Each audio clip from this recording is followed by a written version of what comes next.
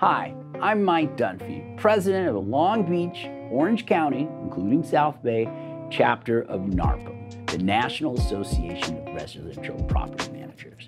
Special thank you to our September speaker, Abby Orscheid, who spoke on AI in property management. It was well attended and the feedback was terrific. We also hope you were able to attend the NARPM National Conference that was held from October 16th through the 19th in Atlanta.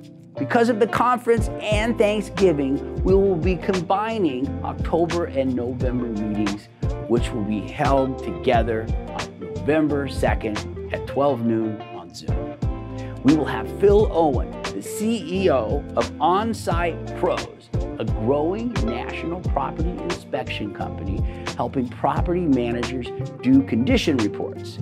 He will explore how professional property managers can turn property inspections from a money and time drain into a profit center.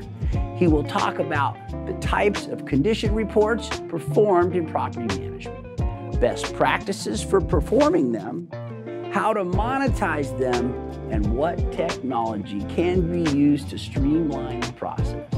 This is an important topic we can all benefit from. This meeting will be November 2nd from 12 to 1. It will be on Zoom, so there's no excuses. It's only $15 for members and affiliate members. Non-members can attend for $25. Oh, and our NARPM member price is good for any NARPM member, no matter which chapter or state you're a member of. Finally, I'd like to announce that on December 7th, we're going to be having a holiday social at the Long Beach Yacht Club.